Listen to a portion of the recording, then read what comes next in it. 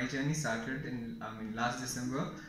So first I was you know they told me I have had pneumonia because my mom was so strong. That's why when when they told me I mean I was diagnosed with cancer.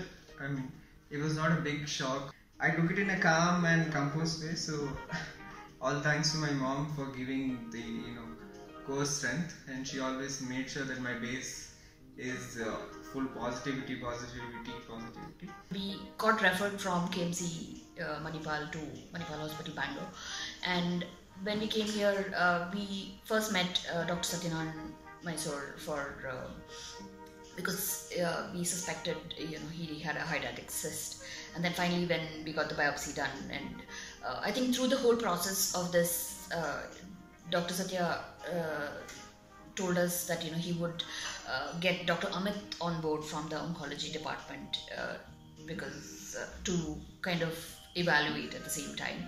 And I think that was our first interaction with Dr. Amit Rauthan, and I think I can say that it's just been uh, so um, helpful at the same time. I mean, he's never made us feel that you know this is uh, something very uh, grave. The way he spoke to us is what I would I still remember, and uh, he was very composed. And he when he told us that this is it, it's he has a very rare form of uh, cancer, and uh, which normally uh, comes to a child and probably a young adult, and it's one of the very rarest form.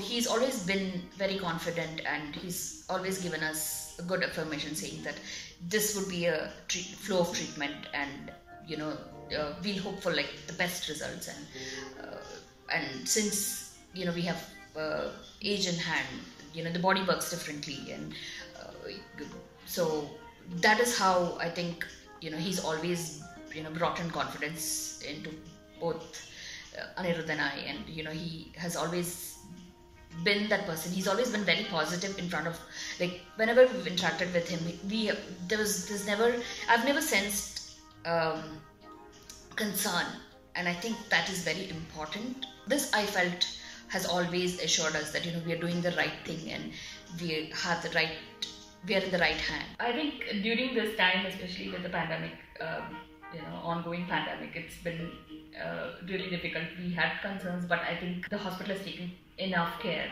uh, to make sure that we don't have we don't have to face uh, any issues, especially you know rather from the get go itself. As soon as we enter, you know it's been uh, like very smooth. They've taken enough precautionary measures to make us and the patient feel very safe. We met the counselor Shraddha a couple of times uh, during our daycare sessions. It's been it's been very helpful. Mean, you know, every time she come, I think it's it's it's more like you know we've we've have we've always had like a friend who come over uh, to see if he uh, is doing okay. The beginning it was tough, like you know to uh, stay positive and stuff, uh, but I was ne- I made sure that I'm not consumed by all those negative thoughts, and I made sure that you know every day I start enjoying it in my. So I love films, and you know I'm studying film study. So what I did in this journey is like I, I'm trying to watch all the movies possible and you know and I'm I'm trying to make sure that once I'm out of this I'll take my camera and I'll just go out shooting shooting stuff with my friends and I I so basically that is a motivation if you can survive cancer then I think so you basically can do anything. This journey taught me that you know just be patient stay focused and be happy. This is also a journey where i want like you know at the end of this i want my mom to be proud that you know she has given birth to a fighter